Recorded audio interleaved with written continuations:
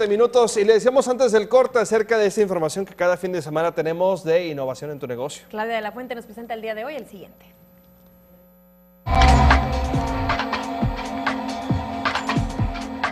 La idea de recrear y encontrar en el arte antiguo la manera de integrar el arte moderno mueve a un grupo de jóvenes a llevar a la calle lo que ellos llaman mapping clandestino. Es el ejemplo de innovación en tu negocio de hoy. Pues somos productores audiovisuales, ¿no? O sea, tanto hacemos video, animación, como música, audio, efectos sonoros. Entonces combinamos todo, todo esto y nos vamos a un lugar que escogemos, proyectamos encima de esa pieza o de esa fachada y con la música le damos una sincronía, entonces ya se convierte en un espectáculo privado. El mapping es una técnica que surge como tal hace poco menos de 10 años. De ayuda de las nuevas tecnologías se puede combinar el arte y proyectar a niveles inimaginables, así como lo hacen en Triangulum. Además de cumplir con lo artístico, llegan a la labor social clandestina, que consiste en destacar esos lugares olvidados de la ciudad cuando menos se lo esperan, para que vuelvan a la vida.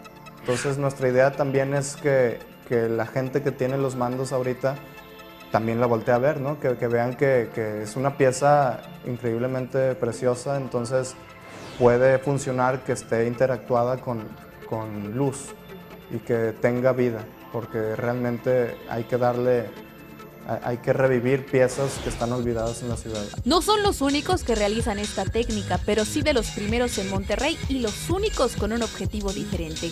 Eso los ha hecho llegar a cumplir sus metas, además de la capacidad de todo el equipo que labora para lograrlo.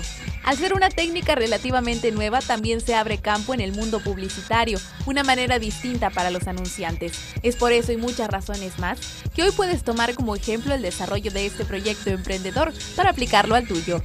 El primero que puedes aplicar en tu negocio es la irreverencia creativa para unir lo antiguo con nuevas tecnologías. Tu negocio tiene algo que está haciendo bien, pero no necesariamente todo tiene que ser nuevo. Apóyate en profesionales que hagan cada actividad de forma máxima, de forma meticulosa, profesional e impactante. En el caso de Triangulum vemos cómo ellos tienen esta proyección clandestina. Es decir, nadie los espera y de pronto aparecen reviviendo un monumento, reviviendo un espacio que todo el mundo ya ignora.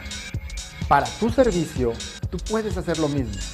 Un ejemplo creativo completamente diferente. Es parte de la innovación. La próxima semana, otro caso del cual aprender.